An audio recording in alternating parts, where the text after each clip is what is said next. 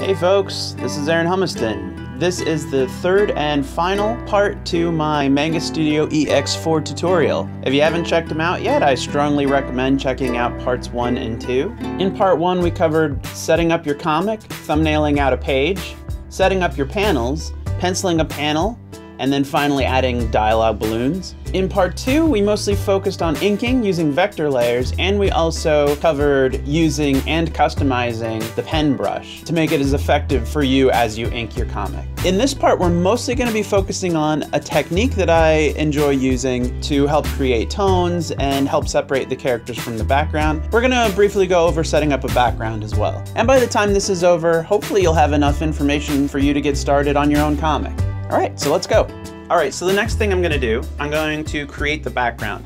And uh, in my pencils, I just roughed in a forest. I'll show you a little trick I do with trees. I'm gonna create a new layer. So I'm gonna keep it as a raster layer because I'm going to be using the gradation tool to build my background. You have the option to do a grayscale layer or even a color layer. So you can color, create color in this.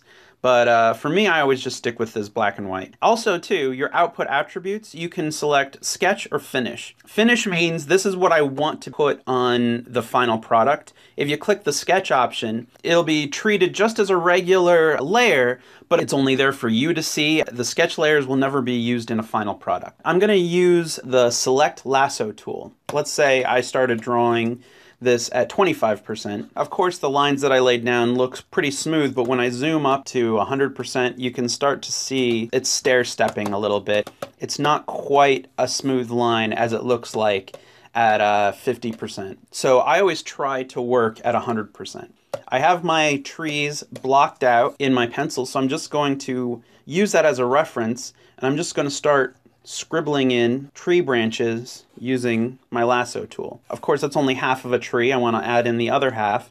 So to expand my selection, all you got to do is hold down the shift key and now you have a lasso with a little plus meaning I want to add to my selection. So I'm going to draw the other side of my tree. I'm going to do the same with the other trees behind it, always expanding my selection. Now you don't have to hold the shift key down while you're drawing. All you need to do is make sure you hold the shift key down before you place a new line and once you click to place that new line, you can let go of the shift key and as long as you're continually dragging that line, it will maintain. So all you got to do, hold down shift, click, let go of shift, and drag. Hold down shift, click, let go of shift, and then drag.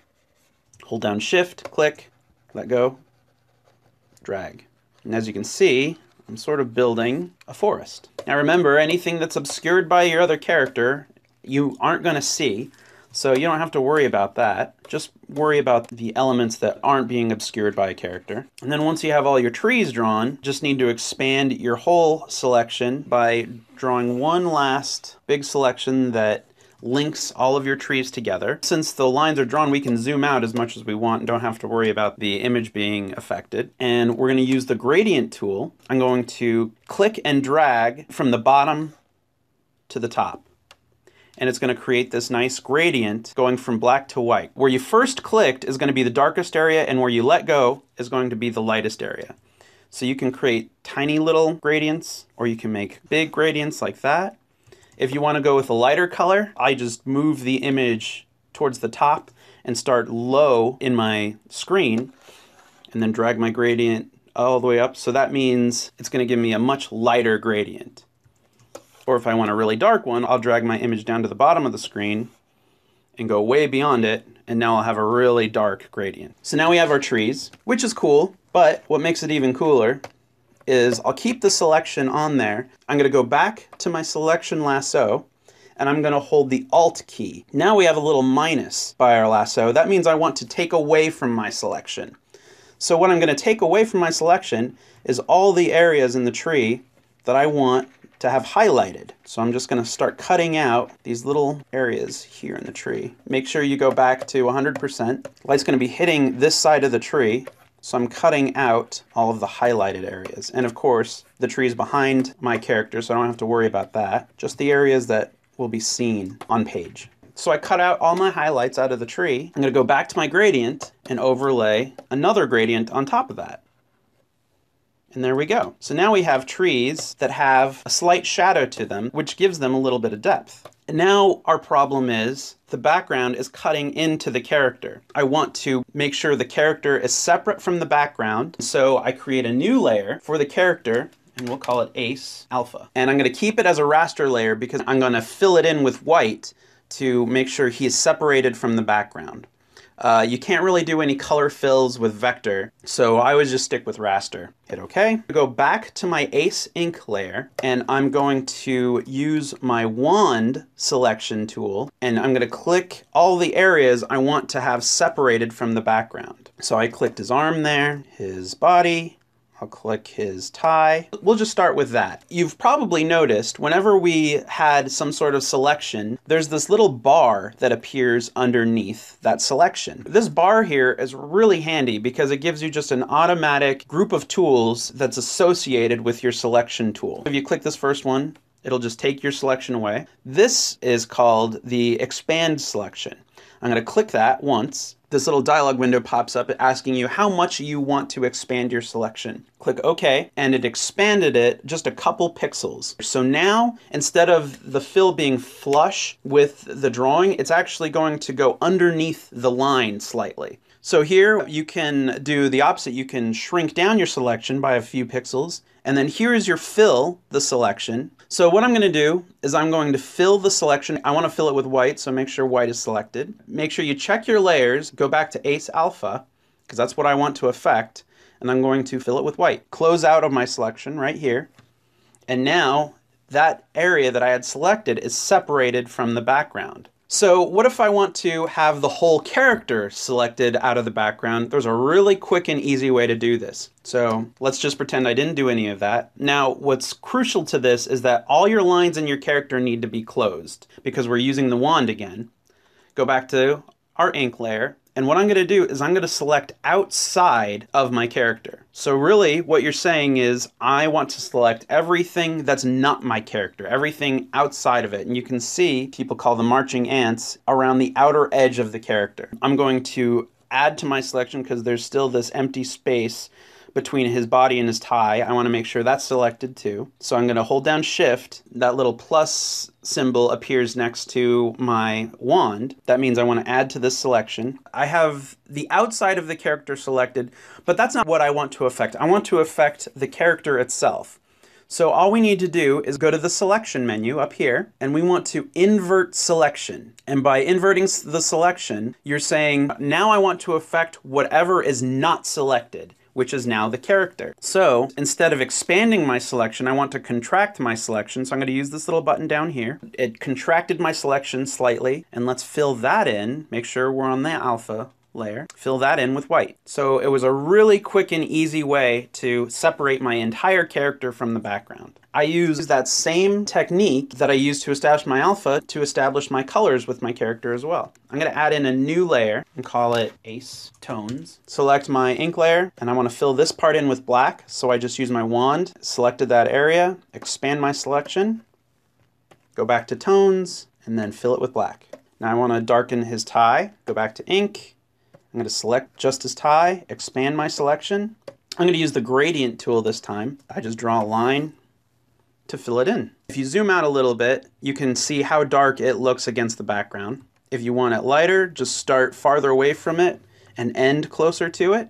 If you want it darker, just start closer to it and then end farther away from it and you'll have a darker tone. So this is just what I like using to sort of eyeball the color. Now I want to color his hair. You can see here in my line there are some open lines. So if I go to the hair and try and use my wand, since there's open lines here along his neck, it's actually selecting his face as well. So unfortunately, I can't use the wand tool to color his hair. So we're going to use the select lasso instead, and we're going to have to trace over all the elements that I want to keep. So I'm just drawing a line tracing over my inks, trying to stay like right in the center of the line. And here I'm just going to create a jagged line along his hair, trace the ear, and now we have a selection for his hair. As you can see up top, I sort of missed an area. All you need to do is hold down that shift key. You'll have the add to selection and just add that and there we go. And if there's an area that you don't want, like if I accidentally went too far out here,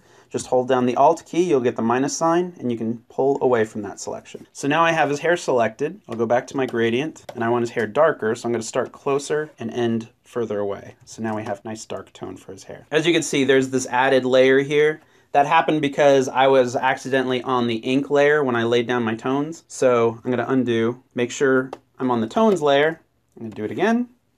And there we go. Here's another cool little technique trick I use for his hair. I'll use the selection tool and I'll scribble out his highlights. Make sure I'm in the tones layer, make sure white is selected, fill it with white, and now he has a nice little highlight to his hair. Now let's do his eyebrows. I'll use the wand since it's a closed line. Expand, go back to tones, and there we go. And I think that's it for him. All right, so now we have a character inked. We have it alpha away from our background. We have our background in there, and I gave him some tones to it. That's what I do with every single character, with every single panel. I just keep going through those steps till I have a final comic. You can export your book to PSDs. You can even export it as layered PSDs.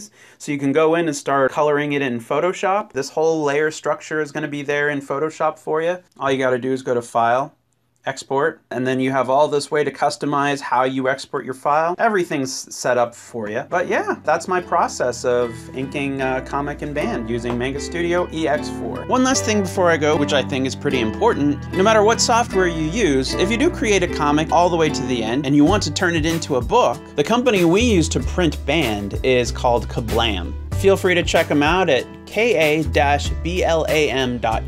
We've been using them for as long as we've been making band. They're a local company to us and I love supporting local business. But that aside, this is not a paid endorsement, they just provide a great service and a great product. They're a print-on-demand company, meaning you can order 50 books or you could order one book. They only charge you for printing and shipping. All the rights of your work remain with you. They're just your printer. The paper and printing quality is solid, and if you want to sell your book online, they'll help you out with that too using their website Indy Planet. People can order your book, they'll do the printing, they'll do the shipping, and they only take out the printing cost. You get the rest of the money. I'm sure there are a lot of great services out there. This is just one of them, and I recommend them if you're just starting out and you just want to put it on a professional looking book with no hassling or paperwork or any legal issues. It's a mom and pop company. The guys who run it are artists as well, and they create a great product. Alright folks, that's about it. My goal with this tutorial was to give you enough information for you to dive into Manga Studio EX4 with enough knowledge to where you can start experimenting and playing around with the software on your own. Manga Studio EX4 is so much bigger than what I covered, and I'm sure there are plenty other tutorials that will go into finer details with different things that the software can do. But hopefully this gives you enough information to where you can start playing around and actually creating some content. If you like the artwork from Band that you've been seeing in the tutorial, feel free to to check out the website. It's band-comic.com. There you can check out the first 12 pages of issue 1, and if you like it, you can purchase the first 4 issues or a collection of issues 1 through 4 through our website using Indy Planet. Also, Band is on Facebook at facebook.com slash bandcomic. There we post most of our news, links, our announcements, and which comic conventions we'll be attending. There's a lot of artwork on our Facebook page, including commissions that I do at the various conventions. Go check it out.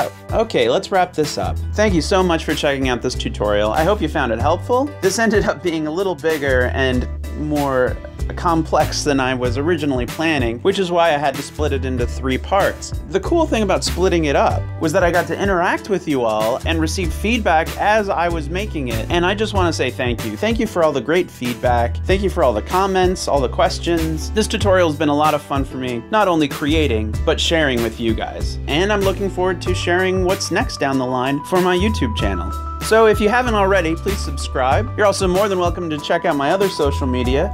I'm on DeviantArt, I'm on Facebook, I'm on Tumblr. And of course, if you like this video, feel free to comment, hit that like button, and it's always appreciated if you share this video with your friends, your family, your colleagues, or just anyone who's interested in creating comics digitally. And with that, I'm gonna wrap it up. Thanks again, folks. I will see you next time. Have a good one.